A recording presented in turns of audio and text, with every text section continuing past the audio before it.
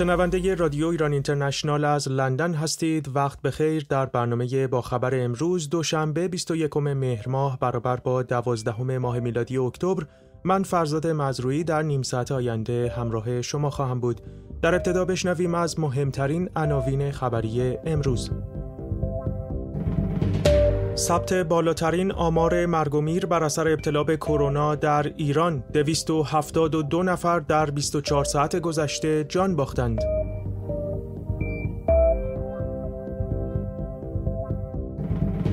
خودکشی یک دانش آموز 11 ساله در بوشهر مادر این دانش آموز دلیلش را نداشتن گوشی تلفن هوشمند برای کلاس درس آنلاین عنوان کرده آموزش و پرورش مدعی است مدرسه به او گوشی همراه هوشمند داده بود. پاسخ ایران به گزارش مدیر آژانس بین المللی انرژی اتمی اصطلاحاتی مانند گریز و کیفیت مواد هسته‌ای جایگاهی در اسناد حقوقی آژانس ندارد. انتقاد وزیر خارجه آلمان از فعالیت‌های منطقه‌ای جمهوری اسلامی هایکو ماس می‌گوید برجام تنها راه کنترل برنامه هسته‌ای ایران است.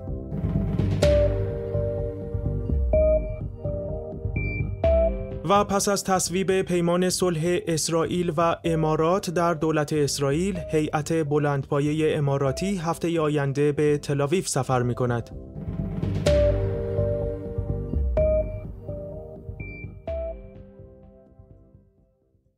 بر اساس تازه ترین گزارش وزارت بهداشت ایران 272 بیمار مبتلا به کرونا در شبانه روز گذشته جان خود را از دست دادند و مجموع جان باختگان این بیماری بر اساس آمار وزارت بهداشت به 28816 نفر رسید. به نظر می رسد این آمار نشان دهنده بالاترین میزان مرگ و میر از زمان شیوع این همهگیری در ایران باشد. در همین حال بنابر اطلاعاتی که به ایران اینترنشنال رسیده شمار فوت شدگانی که در دو روز گذشته با گواهی فوت به دلیل ابتلا به کرونا به گورستان بهشت زهرای تهران رسیده نسبت به روزهای قبل سی درصد افزایش داشته. مینو مهرز عضو کمیته علمی ستاد ملی مقابله با کرونا می‌گوید برخی بیماران مبتلا فرصت بستری شدن هم پیدا نمی کنند و وضعیت بسیار بحرانی است و اگر شرایط فعلی تداوم پیدا کند به طور قطع میزان مرگ و میر ناشی از کرونا باز هم افزایش خواهد یافت. مسعود مردانی عضو کمیته علمی ستاد ملی مقابله با کرونا هم می‌گوید تعداد افراد بستری و مرگ و میر در هشت ماه اخیر بی سابقه است و تا کنون با چنین وضعیتی روبرو نبوده ایم. از سوی دیگر رئیس ستاد مقابله با کرونا تهران می‌گوید به نظر می‌رسد پیک سوم کرونا بسیار هولناکتر، عظیمتر و با دامنه عمیقتر از پیک های قبلی است. علیرضا زالی گفت بررسی ها نشان می‌دهد فاصله میان پیک ها در حال کوتاه شدن است و تا پایان فصل سرما باید در انتظار پیک های بعدی کرونا هم باشیم. زالی گفت پیش بینی می شود با بیماران بدحالتری نسبت به هفته های گذشته روبرو باشیم. در رابطه با وضعیت حاضر این همهگیری در ایران و صحبت‌های مقام‌های وزارت بهداشت توضیحات آلان توفیقی پزشک و تحلیلگر سیاسی از پاریس رو میشنویم. کاملا منطقی است این حرفی که آقای زالی زده به خاطر اینکه از ابتدای بیماری تا این لحظه زنجیری انتقال ویروس قطع نشده و همچنان در جامعه در حال افزایش هستش و این باعث میشه که فاصله بین پیک ها و شدت اونها افزایش پیدا بکنه. من برای اینکه این گفته آقای زالی و اصطلاحا کاهش فاصله بین پیک ها رو برای شما مشخصتر بکنم یک مثال می‌زنم. ببینید پیک اول بیماری از اواخر در واقع بهمن شروع شد یعنی در واقع آخرین روز بهمن. ادامه پیدا می‌کنه تا اردی بهشت بعد کاهش پیدا می‌کنه در تیر دوباره شروع به افزایش پیدا می‌کنه و در مرداد پیک می‌زنه که بالاترین تعداد فوت مربوط به هفته مرداد بوده با 235 نفر. این روند همینطور ادامه داره تا می‌رسه به مقطع فعلی که ما در پیک سوم هستیم. البته به گفته خود مسئولین بهداشتی وگرنه من واقعا معتقدم در ایران پیک های متعدد نبوده چون هرگز موفق به کنترل بیماری نشدن. در, در هر حال الان مثلا شما ملاحظه بفرمایید در روز چهارده مهر دوباره اعلام شد که تعداد مرگ ها 235 نفر در روز بوده. تقریبا معادل همونی که در هفت مرداد اعلام شده بود. در حالی که فاصله بین اونها چیزی حدود در واقع دو ماه بوده. اما اگر شما دقت بفرمایید به تاریخ 20 مهر که دوباره مجددا یک تعداد مرگ بالا گزارش میشه 251 نفر فاصله اون با 14 مهر که 235 نفر اعلام میشه فقط یک هفته کمتر از یک هفته هستش. و خب این نشون میده که فاصله بین پیک ها داره کاهش پیدا می‌کنه و متاسفانه باید گفت که از شدت بالاتری هم در زمینه مرگومیر برخورداره توضیحات آلان توفیقی پزشک و تحلیلگر سیاسی از پاریس بود که میشنیدیم مادر محمد موسوی زاده دانش آموز 11 ساله بوشهری می‌گوید پسرش به دلیل نداشتن گوشی تلفن همراه خودکشی کرده. مادر این دانش آموز تاکید کرده فرزندش به دلیل نداشتن گوشی نمی‌توانسته در کلاس های آموزشی آنلاین شرکت کند. او در مصاحبه با یک رسانه داخلی گفت اهدای گوشی از طرف مدیر مدرسه به سه دانش آموز مطرح شد اما عملی نشد. مادر این دانش آموز تاکید می‌کند تنها دلیل قصه پسرش که باعث خودکشی او شده نداشتن گوشی تلفن همراه هوشمند بوده. پیشتر آموزش و پرورش اعلام کرده بود دلیل خودکشی این دانش آموز بوشهری نداشتن تلفن همراه نبوده و مدیر مدرسه از فروردین ماه به او یک گوشی داده بود. این در حالی است که مادر محمد موسوی زاده این ادعای آموزش و پرورش را رد کرده. جزئیات بیشتر در این باره رو از نیکی محجوب خبرنگار ایران اینترنشنال که این خبر رو پیگیری کرده میشنویم. ببین بر این فایل صوتی که از مادر این پسر بچه 11 ساله اومده گفته میشه یک گوشی به این بچه داده شده بوده. حالا توضیح نمیده که آیا این گوشی رو مدرسه داده بوده یا خودشون تهیه کرده بودن. ولی با توجه به اینکه تاکید شده روی اینکه خانواده کم بضاعتی هستند و توانایی مالی ندارن امکان داره این همون گوشی باشه که آموزش پرورش ادعا کرده داده. مادر این کودک میگه این گوشی نمی‌تونست درست عکس بگیره. نه این بچه می‌تونه صدا بفرسته. برای همین درخواست شده بوده برای اینکه بتونن یه گوشی بگیرن. مدیر مدرسه به محمد و دو تا دانش آموز دیگه وعده داده بوده که گوشی بده که این وعده عملی نمیشه. در مقابل حرفهایی که مادر این کودک می‌زنه و تاکید می‌کنه که محمد 11 ساله بزرگترین بچهش بوده و یه بچه دیگه ای داره که که به نوعی معلول هست و همچنین پدر این خانواده هم مشکل داره و توانایی مالی ندارن. آموزش و پرورش اومده گفته که دلیل خودکشی این کودک نداشتن گوشی موبایل نبوده. این کودک موبایل داشته و یه سری تصویر منتشر کرده. از اینکه این کودک حالا به گفته آموزش و پرورش تماس داشته از طریق موبایل با معلمش. دادستانی عمومی دایر در بوشهر اومده. جایی که این کودک در اونجا زندگی می‌کرده تاکید کرده که جنازه این بچه به خانواده تحویل داده شده. این بچه خاک سپاریش انجام شده ولی پرونده در دست بررسی هست. از طرف دیگه میشه گفتش که در هر حال این یک سری خیلی منفی داشته هم بین فعالای فرهنگی هم بین فعالان مدنی که این مشکل از کجاست و چرا یه بچه 11 ساله به دلیل اینکه نمی‌تونه در یک سامانه ای که وظیفه آموزش پرورش هست به تحصیلش ادامه بده فشاری بهش میاد که منجر میشه جون خودش رو بگیره. توضیحات نیکی محجوب خبرنگار ایران اینترنشنال از لندن بود که میشنیدیم. در همین رابطه و برای پرداختن به جزئیات بیشتر این حادثه صحبت‌های سعید پیوندی جامعه شناس و استاد دانشگاه لورن از پاریس رو میشنویم. در حقیقت مسئله اولی که باید گفت اینه که این پدیده بسیار نادری. یعنی اگر به ایران و با کشورهای دیگه مقایسه بکنیم خودکشی در این سن و سال تقریبا یه پدیده ای که وجود نداره یا بسیار نادره.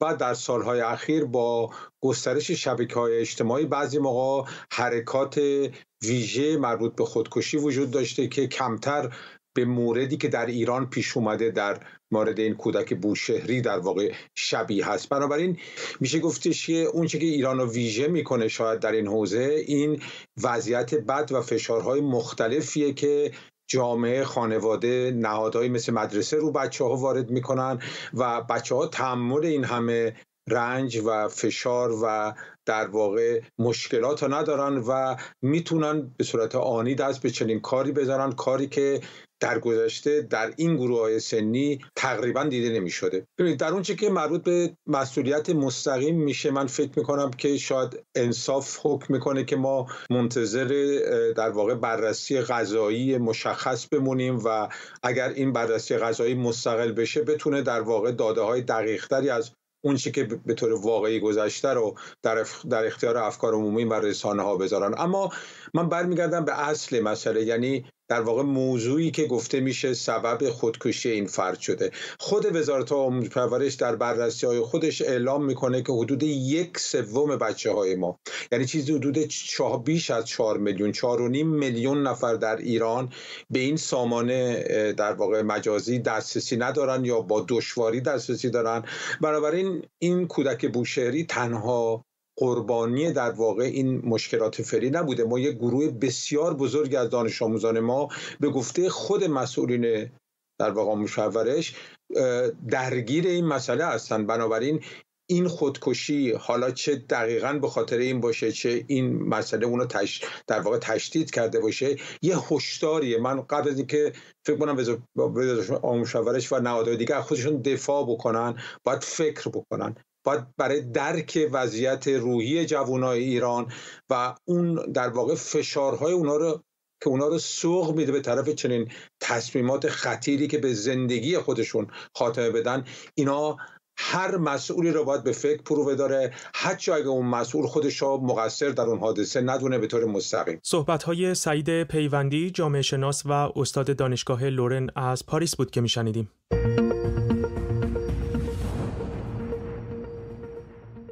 نماینده ایران در سازمانهای بین المللی وین در واکنش به اظهارات اخیر مدیر کل آژانس بین المللی انرژی هسته‌ای گفت اصطلاحاتی مانند گریز و میزان مواد هسته‌ای جایگاهی در اسناد حقوقی آژانس ندارد. کاظم غریبآبادی در توییتی نوشت ترسیم این معیارها برای کشورهایی که تحت نظارت آژانس غنیسازی می کنند موضوعی غیر مرتبط است او در ادامه از رافائل گروسی پرسید آیا می‌دانیم مقدار مواد هسته‌ای کشورهای دیگر چقدر قابل توجه است؟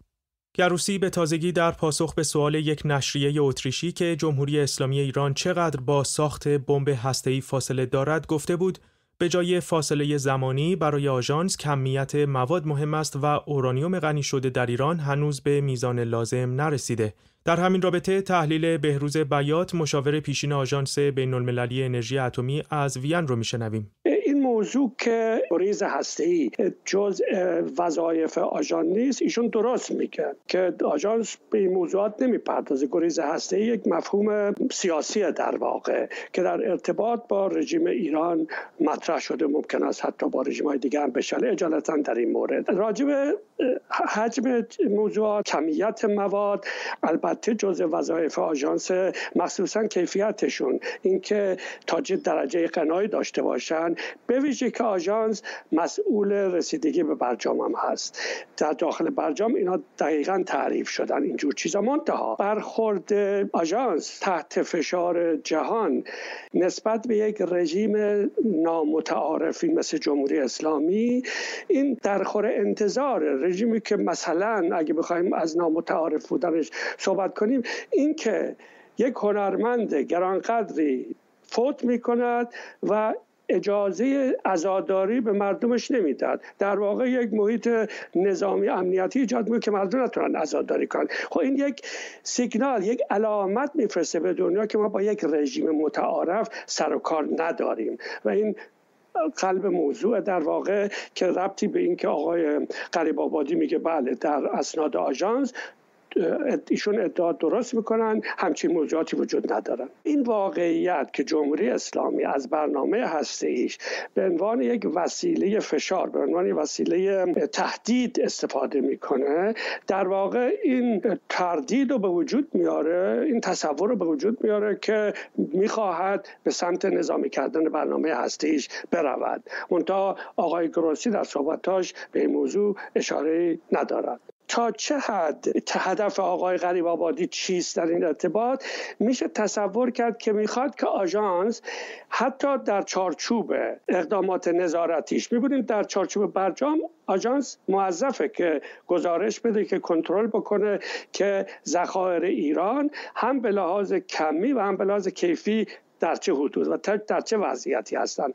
اما برای بعد برای آنچه که مربوط به اقدامات نظارتی آژانس در چارچوب NPT در واقع غریب آبادی می‌خواد به نحوی بگوید که آژانس اجازه رسیدگی به این موضوعات را ندارند زیرا که در کشورهای دیگر جهان هم همچی کاری را نمی کند از این لحاظ باز در واقع حرفش درسته اما نه برای رژیم غیر متعارفی مانند جمهوری اسلامی ایران. صحبت های بهروز بیات مشاور پیشین آژانس بین المللی انرژی اتمی از وین بود که میشنیدیم. و در خبری دیگر وزیر خارجه آلمان اعلام کرد علیرغم اینکه کشورش منتقد رفتارهای ایران در منطقه است با این حال از برجام حمایت می‌کند. هایکو ماس در گفتگو با نشریه شرق الاوسط گفته توافق هسته‌ای تنها مکانیسم برای کنترل برنامه هسته‌ای ایران است. او گفته قوانین تعیین شده آژانس بین المللی انرژی اتمی جامع ترین قوانین برای کنترل و نظارت بر عملکرد هسته‌ای ایران است. هایکوماس تاکید کرد آلمان نگاه انتقادی به نقش ایران در منطقه دارد و این امر در مورد فعالیت‌های ایران در خلیج فارس و تنگه هرمز صدق می‌کند.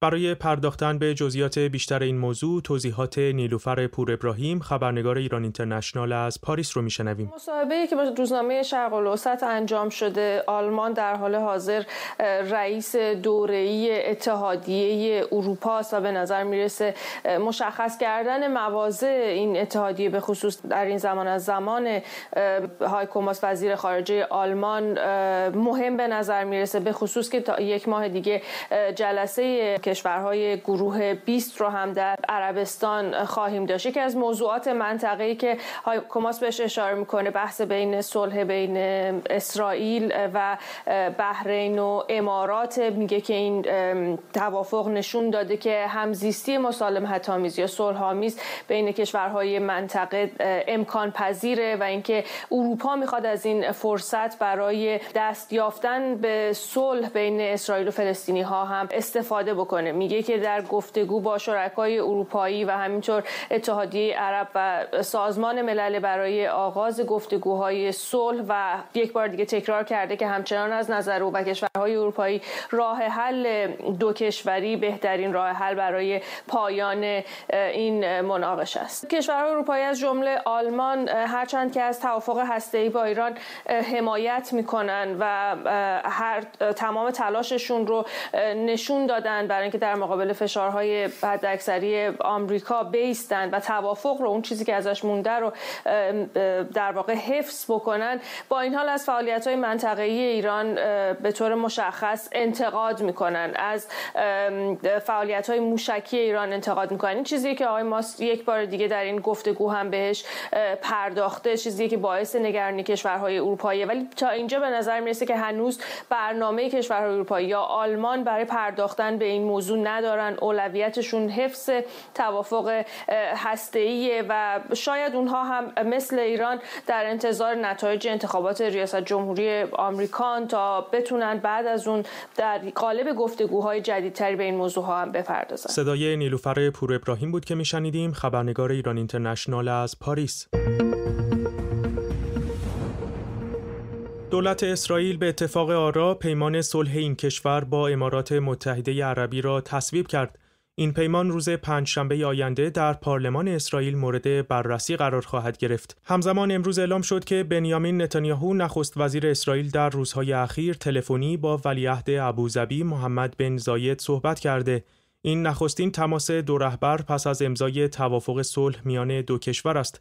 پس از تصویب این پیمان در دولت اسرائیل قرار است هفته آینده هیئتی بلندپایه از امارات متحده عربی به اسرائیل سفر کند. پیمان صلح اسرائیل و امارات ماه گذشته میلادی در کاخ سفید امضا شد.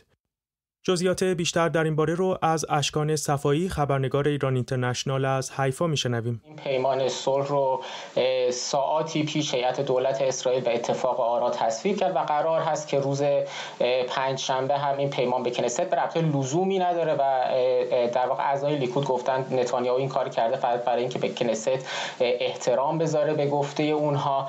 اما بنیامین نتانیاهو امروز در آغاز این نشست هیئت دولت گفت که در واقع از این پیمان تعریف کرد در مورد نکات مثبت اون گفت و همون سخنی که چند بار تا حالا تکرار کرده رو دوباره گفت. این که در این پیمان صلح برخلاف دو پیمان صلح قبلی اسرائیل با اردن و مصر اسرائیل در واقع هیچ سرزمینی رو از دست نداد. نکته جالب توجه در در واقع در نشست امروز هیئت دولت اسرائیلی بود که پشت سر بنیامین نتانیاهو علاوه بر پرچم اسرائیل پرچم امارات هم گذاشته شده بود. موضوعی که اگر که در واقع نگیم بی سابقه است شاید گفت که کم سابقه است که یک چنین اقدامی در دولت اسرائیل صورت بگیره. همزمان اعلام شده که بنزاید و نتانیاهو در روزهای اخیر تلفنی صحبت کردن. نتانیاهو گفته که در واقع قرار هست با همدیگه دیداری هم بکنن. به زودی خود بنزاید هم در توییتی تایید کرد که با نتانیاهو صحبت کرده گفت که در مورد در واقع اهمیت صلح و همچنین ثبات در منطقه و در خاور میانه صحبت کردن. از اون طرف همونطوری که گفتید قرار هست که یک هیئت اماراتی هفته آینده احتمالا روز سهشنبه وارد اسرائیل بشه. بر اساس گزارش ها دست کم دو وزیر اماراتی وزیر دارایی و وزیر اقتصاد امارات در این هیئت خواهند بود که با مقامات اسرائیلی هم در اورشلیم و هم در تلاویو دیدار خواهند کرد برای بستن قراردادهای مشترک. و نهایتا اینکه امروز صبح هم اولین کشتی باری که در واقع از امارات راهی اسرائیل شده بود وارد بندر حیفا شد. کشتی که گفته شده بار اون چیزهایی مثل آهن آلات و همچنین در واقع لوازم مربوط به آتش نشانی و چیزهای از این دست بوده. صدای اشکان صفایی خبرنگار ایران اینترنشنال از حیفا بود که میشنیدیم. وزارت خارجه روسیه در بیانیه اعلام کرد وزیر خارجه ارمنستان در سفری سه روزه به روسیه با سرگئی لاوروف وزیر خارجه روسیه دیدار و درباره مسئله قره‌باغ و توافق آتشبس گفتگو خواهد کرد. در همین حال سفیر ارمنستان در مسکو گفته ممکن است وزیر خارجه این کشور با رؤسای مشترک گروه سازمان امنیت و همکاری اروپا موسوم به مینسک دیدار و گفتگو کند. فرانسه، روسیه و آمریکا ریاست مشترک گروه مینسک را بر عهده دارند. این سفر در حالی انجام می شود که کمیته جهانی صلیب سرخ از فراهم نبودن امکان فعالیت در قره‌باغ به دلیل نقض آتش بس از سوی دو طرف خبر داده. توضیحات بیشتر در این باره رو از مصدق پارسا خبرنگار ایران اینترنشنال از مسکو میشنویم. چند تلاش مسکو که در نهایت منجر به دستیابی یک توافق آتش بس بین ارمنستان و آذربایجان شد با از طرف روسیه به عنوان یک دستاورد بسیار بزرگ شناخته میشه. بر تا کنون آتش بس کامل در منطقه قره‌باغ خب برقرار نشده. امروز هم وزیر خارجه ارمنستان در مسکو به سرگی لاوروف گفت که در زمان که آتش بس قرار بوده برقرار بشه 120 حمله از جانب آذربایجان صورت گرفته. اما وزیر خارجه ارمنستان تاکید کرد که کشورش متعهد هست تا مسیرهای واقعی تری برای عملی شدن این طرح آتش بس پیدا بشه و اونها متعهد به اجرای آن هستند. همزمان باکو هم رئیس جمهور آذربایجان اعلام کرد که کشورش متعهد هست تا توافق آتش بس عملی بکنه. با وجودی که امروز سخنگوی کاخ کرملین هم گفت که خیلی اهمیت داره برای روسیه این توافق. سخنگوی وزارت خارجه روسیه گفت که منافع ملی روسیه در گرو ثبات و آرامشی است که در قره‌باغ بین دو کشور حاکم بشه و آتش بس و صلح برقرار بشه. اما تا کنون این آتش بس برقرار نشده. سرگی لاوروف وزیر امور خارجه روسیه امروز گفت که با وجودی که این توافق حاصل ساعت ها نشستن و گفتگو بوده اما تا هنوز نشانه های این که به صورت کامل یک توافق آتش بس بین دو طرف صورت گرفته باشه صورت نگرفته و این آتش بس برقرار نشده. کمیته جهانی صلیب سرخ هم گفته که شرایط طوری اونها نمی‌تونن اون بخشی از توافق که انتقال اجساد و تبادله زندانیان هست و مسئولیت این کمیته میشه به درستی انجام بدن و دو کشور آذربایجان و ارمنستان توافق آتش بس اونطوری که باید رعایت نکردن و زمینه کار برای کمیته جهانی صلیب سرخ در این زمینه فراهم نشده. وزارت امور خارجه روسیه امروز باز هم از هر دو کشور خواست که به این توافق تعهد کامل نشان بدن او را عملی بکنن و گفت که روسیه نشان داده به ویژه که تلاش های شخص رئیس جمهور روسیه دخیل بوده و روسیه نشان داده که علاقمند ثبات در این منطقه است. از هیچ کدام از طرفها دفاع نمی‌کنه. همچنان وزیر خارجه روسیه گفت که گفتگوی تلفنی با وزیر خارجه ترکیه داشته و از ترکیه هم خواسته تا تلاش های مشترک را انجام بدن در مورد اینکه این آتش بس برقرار بشه. توضیحات مصدق پارسا بود که میشنیدیم. خبرنگار ایران اینترنشنال از مسکو.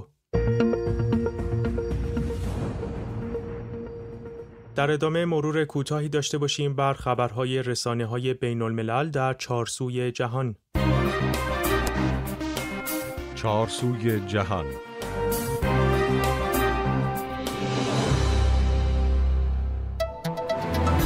در پی انتقادها در مورد پنهانکاری در آمار واقعی مبتلایان کرونا دولت ترکیه می‌گوید از این پس موارد بی علامت ابتلا به این ویروس را هم اعلام می کند. به گزارش شبکه خبری تیارتی ترکیه فخرالدین کوجا وزیر بهداشت و درمان ترکیه وعده داده از 15 اکتبر موارد بی علامت ابتلا به بیماری کووید 19 نیز در آمار اعلام می شود. این اقدام در پی آن صورت می گیرد که دولت به دلیل پنهانکاری در مورد ابعاد گسترش بیماری از طریق محدودیت در ثبت شمار مبتلایان علامتدار آماج انتقاد قرار گرفته. از پایان ماه میلادی ژوئیه ترکیه در گزارش های روزانه خود موارد ابتلا را به بیمار تغییر داد و دولت فقط موارد مثبت علامتدار ابتلا به کووید 19 را ثبت می کرد. بر این اساس ترکیه به طور متوسط در روزهای اخیر حدود 1500 بیمار علامتدار کرونایی را گزارش می‌داد. شماره جانباختگان کرونا در این کشور هم بر اساس آمار رسمی بیش از 8700 نفر اعلام شده. رئیس جمهور کنونی تاجیکستان برای پنجمین دوره متوالی در این سمت باقی خواهد ماند. به گزارش خبرگزاری رویترز، کمیسیون مرکزی انتخابات ریاست جمهوری تاجیکستان اعلام کرد امام علی رحمان با کسب بیش از 90 درصد آرا برای پنجمین بار به عنوان رئیس جمهور این کشور انتخاب شده. امام علی رحمان که به روسیه گرایش دارد برای حدود 28 سال قدرت را در تاجیکستان در دست داشته و در قیاب رقیب جدی در این انتخابات برای یک دوره هفت ساله دیگر نیز در قدرت خواهد ماند. مخالفت اسرائیل با فروش جنگنده های F-35 آمریکا به قطر روزنامه اسرائیلی جروزلم پست می نویسد الی کوهن وزیر اطلاعات اسرائیل با تاکید بر ضرورت حفظ برتری نظامی اسرائیل در منطقه گفت اسرائیل با هر گونه فروش جنگنده های F-35 آمریکا به قطر مخالف است و در ادامه افسود منطقه ما هنوز سوئیس نشده و اسرائیل تنها کشوری است که نه تنها در خاورمیانه بلکه در تمام جهان با بیشترین تهدیدها مواجه است. در پی موافقت آمریکا با مد نظر قرار دادن فروش جنگنده های F-35 به امارات متحده عربی در پی عادیسازی روابط امارات و اسرائیل قطر هم درخواست رسمی خرید این جنگنده ها را به آمریکا تسلیم کرده است. با این حال اسرائیل همچنان با فروش این هواپیماهای پیشرفته نظامی به امارات مخالف است. مقام های آمریکایی از جمله جرارد کوشنر داماد دونالد ترامپ گفتند در صدد یافتن راهی برای فروش این هواپیماها به امارات هستند به طوری که نگرانی اسرائیل را برطرف کند.